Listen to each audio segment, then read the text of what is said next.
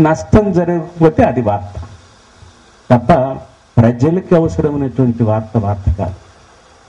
ఈ స్థితిలో వేదకుమార్ గారు ఇన్ని ఉన్నా మార్గాలు ఉన్నాయి. ఇలాంటి పత్రికకు ఆదరణ ఉంది. మా ఇద్దరు మిత్రులు చెప్పారు కరువే రాసేవాళ్ళకి కరువే. కరువున్నారు. ఎవరు జయదేవి తిరుమలరావు గారి మీద పడ్డారు మీరు కానీ ఈ- రాసే వాళ్ళు మనకు ఎందుకు సాహిత్యంలో పెరిగారు తప్ప రాజకీయాలకు సంబంధించి ఈ ఇండెప్త్ ఎనాలిసిస్ తగ్గుతున్నాయి కొద్దిగా కష్టపడాలా? దీనికి నిధి నేను అనుకునేది వేదకుమార్ గారు నిధిని సమకూర్చుకొని పెట్టుకున్నారు. వారు గత కొన్ని వారాలుగా కొన్ని మాసాలుగా నిర్వహించినటువంటి స్టడీ సెంటర్లో నిర్వహించినటువంటి రిసోర్స్ సెంటర్లో నిర్వహించినటువంటి చర్చలను వేస్తే సరిపోతుంది. వాటిని సంక్షిప్తంగా వేస్తే ఈ పత్రికకి ఖచ్చితంగా మనుగడ ఆదరణ ఉంటుందని ఖచ్చితంగా ఈ పత్రిక విజయం కావాలని పాఠకులను ఆకర్షిస్తుందని ఆశిస్తూ సెలవు తీసుకుంటాం థ్యాంక్ యూ సార్ ఇప్పుడు SAVR resident eight sir Thonkasala Ashok గారిని మాట్లాడవలసిందిగా కోరుతున్నాను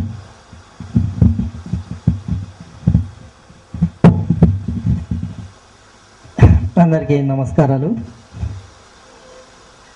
ఈ పత్రిక తీస్తున్నందుకు వేదకుమార్ గారిని ముందు అభినందిస్తున్నాను.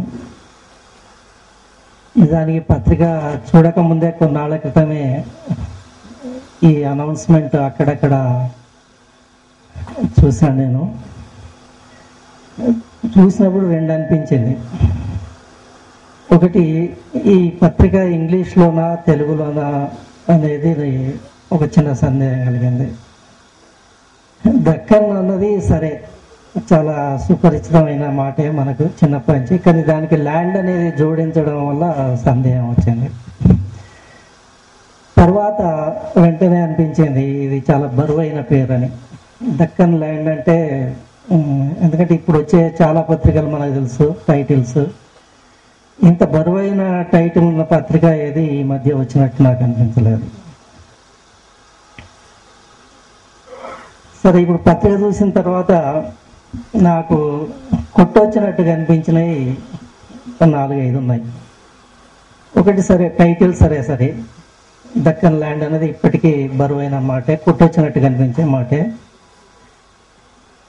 తర్వాత కవర్ పేజీ మీద ఉన్న బొమ్మ దాని గురించి లోపల రాసిన వివరణ.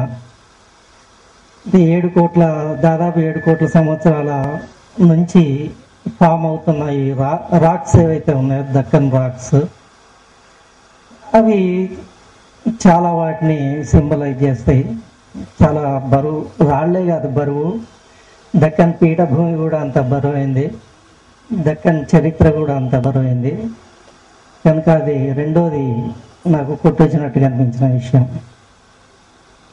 మూడోది సంపాదకీయంలో వేదకుమార్ గారు ప్రస్తావించిన అంశాలు మూడు ఉన్నాయి. ఆ మూడు కూడా నాకు కొట్టొచ్చినట్టుగా అనిపించినాయి. ఒకటి ఆర్థిక సంస్కరణలు. ఆర్థిక సంస్కరణల వల్ల జరుగుతున్న అనేక అనేక నష్టాలు ఏవైతే ఉన్నాయో వాటి పట్ల మనం తీసుకోవాల్సిన దృష్టి చేయవలసిన కార్యాచరణ ఏదైతే ఉన్నాయో ఇది కూడా చాలా ప్రొఫౌండ్ విషయం. అది ఒకటి నాకు కొట్టొచ్చినట్టుగా అనిపించింది. తర్వాత ఆయన శ్రీకాకుళం నుంచి చిత్తూరు వరకు మొత్తం మొత్తం ప్రాంతం గురించి మాట్లాడారు.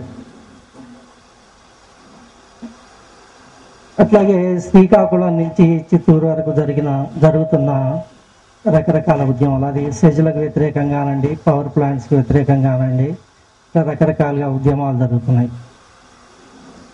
అది ఇంకొకటి చాలా ముఖ్యమైన విషయాన్ని ప్రస్తావించింది. చివరగా అదే సంపాదకీయంలో ప్రత్యామ్నాయ మీడియా అనే మాట ఒకటి వాడారు. సో ప్రత్యామ్నాయ మీడియా ఇప్పుడున్న మీడియా ఎట్లా ఉంది?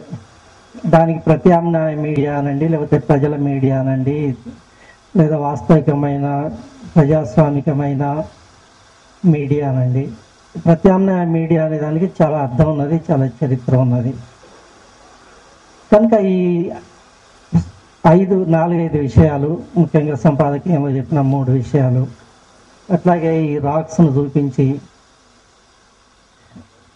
భౌగోళికంగా అనండి నైసర్గిక అనండి చారిత్రకం అనండి ఉన్న ప్రాచీనత. ఈ ఐదుటిని చూసినప్పుడు ఈ ఐదు అంశాలను మనం దృష్టిలోకి తీసుకున్నప్పుడు చాలా పెద్ద క్యాన్వాస్ మనకు కనిపిస్తుంది. అయితే పత్రిక కూడా మరి అది చూసినప్పుడు ఆయా దృక్కోణాల నుంచి ఆలోచించే వాళ్ళకు ఆ విధమైన ఎక్స్పెక్టేషన్స్ కూడా పెరుగుతాయి పత్రిక గురించి.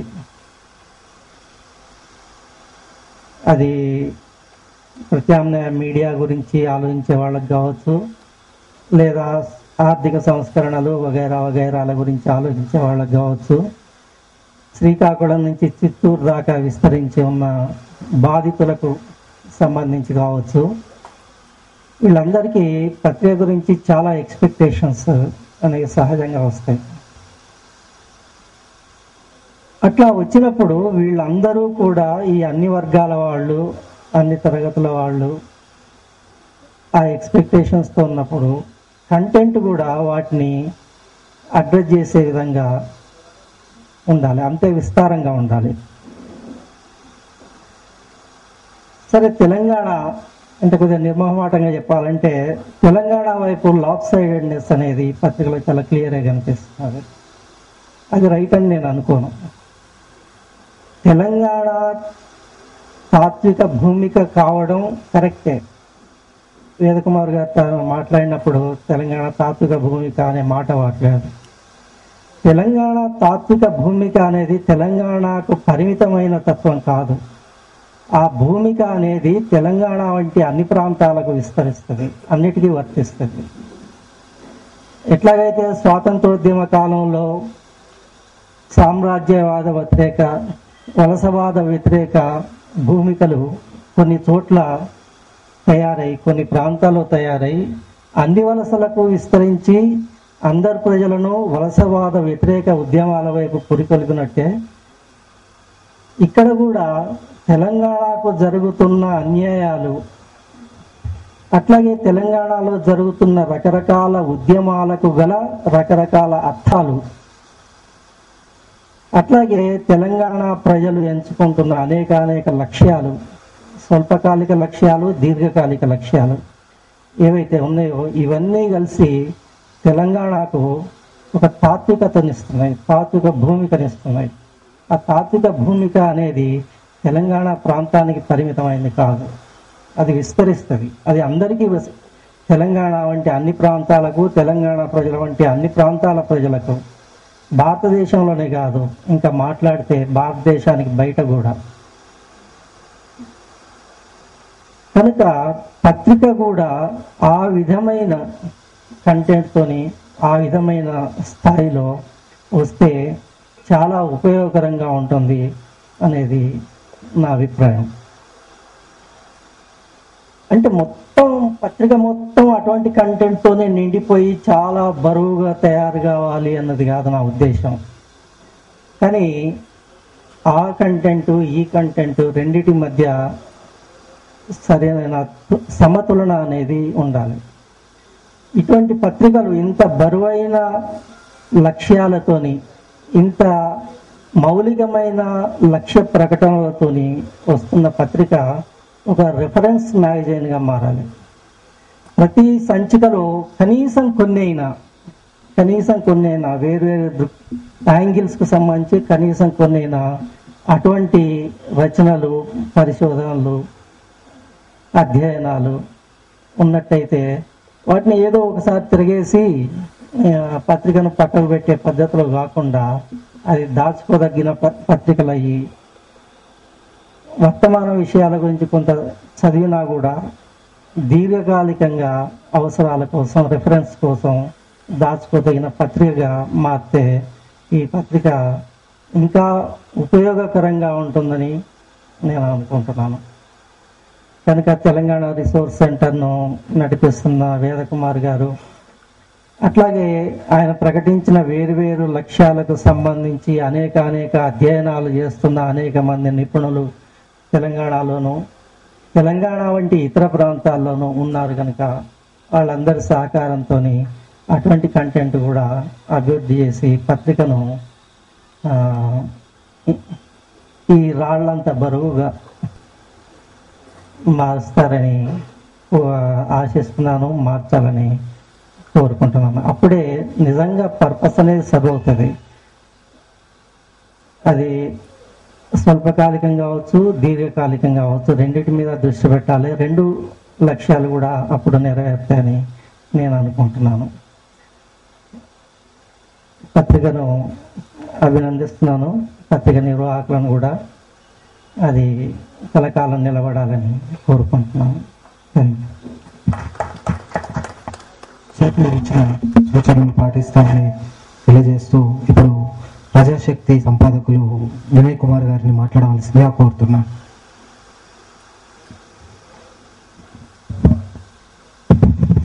సభాధ్యక్షులు వేద కుమార్ గారు వేదిక మీద ఉన్నటువంటి మిత్రులు సభకు హాజరైనటువంటి మిత్రులు అందరికీ నమస్కారం. ఈ సంచిక అసలు దీని కవర్ పేజీ ఒక ప్రత్యేకత కనిపిస్తుంది. డక్కన్ పీఠభూమి యొక్క మొత్తం దాని పరిస్థితిని తెలియజేసేటువంటి విధంగా ఈ సంచిక కవర్ పేజీ ఉంది. కొద్దిగా తేడాలు ఉన్నప్పటికీ మొత్తం దక్కన్ పీఠభూమిలో ఉండేటువంటి స్థితిని తెలియజేస్తుంది. దక్కన్ పీఠభూమి బ్రతకడానికి హాయిగా చక్కటి వాతావరణం అన్నీ కలిగినటువంటిది కానీ బ్రతుకు తెరువుకు అవసరమైనటువంటి జాగ్రత్తలు గనక రాయితీలు జాగ్రత్తలు తీసుకోకపోతే దక్కన్ పీఠభూమిలో చాలా సమస్యలు కూడా ఉంటాయి. ఇప్పుడు అది మనం చూస్తూనే ఉన్నాం. రాయితీలు జాగ్రత్తలు మినహాయింపులు ఇవన్నీ తీసుకోవాలని అంగీకరించి వాటి మీద ఒప్పందాలు చేసుకొని వాటిని అమలు చేయకపోవటం వల్ల ఏర్పడినటువంటి పరిస్థితులన్నీ కూడా మనకు ఈరోజు మన కళ్ళ ముందు కనపడుతున్నాయి. దీంట్లో కూడా కొన్ని అంశాలని మనం గుర్తు నేను మీ దృష్టికి తీసుకొని రావాలి. ఈ పీఠభూమిలో ఉండేటువంటి నదీ జలాల్ని ఉపయోగించడంలో ఎంత తాత్సారం చేశారో ఇప్పటికీ ఎంత నిర్లక్ష్యం చేస్తున్నారో మనకు కనపడుతూనే ఉంది. కృష్ణా నది మొత్తంలో ఒక ఎనిమిది వందలకు పైగా టీఎంసీలు రాష్ట్రం ఉపయోగించుకుంటుంటే ఆ నది ప్రారంభమై చాలా దూరం పారేటువంటి మహబూబ్నగర్ జిల్లాలో ఇప్పటికి కూడా కృష్ణానది నుంచి ఉపయోగించుకుంటున్నటువంటి సాగునీరు కేవలం ఎనిమిది టీఎంసీలు మాత్రమే. ఎక్కడ ఎనిమిది వందల టీఎంసీలు ఎక్కడ ఎనిమిది టీఎంసీలు? దాని మీద ఇంకొన్ని ప్రాజెక్టులు తలపెట్టినప్పటికీ భీమా వన్ కానివ్వండి Nettempadu Kalwakurthy lift irrigation project ఇటువంటివి తలపెట్టినప్పటికీ అవి అప్పర్ కృష్ణ ఇంకా పైన. అది ఇంకా అసలు దాని ఉనికిలో కూడా లేదు. ఈ తలపెట్టినటువంటి ప్రాజెక్టులు పూర్తి కాకపోవటం ఇదంతా మనకి కనపడుతుంది. ఇది ఎందుకు పూర్తి కావటం లేదు? ఈ జిల్లా ఎగువ భాగంలో ఉండటమా? లేకపోతే ఈ జిల్లాలో కనుక ప్రాజెక్టులు పూర్తయితే దేశంలో నిర్మించేటువంటి ప్రాజెక్టులకు వలస కూలీలు దొరకరనా? మొత్తానికి కారణం ఏమైనా కానీ ఈ ప్రాజెక్టులు పూర్తి కావటం అనేటువంటిది జరగట్లే. అసలు తీసు టేకప్ చేసినవే తక్కువ ఆ టేకప్ చేసినటువంటివి కూడా పూర్తి కాలేదు.